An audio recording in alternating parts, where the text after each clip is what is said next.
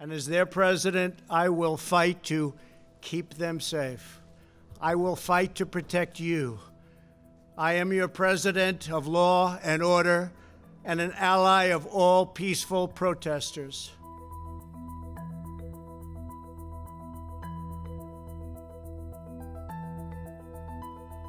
We have the greatest country in the world. Thank you very much, everybody. We're going to keep it nice and safe.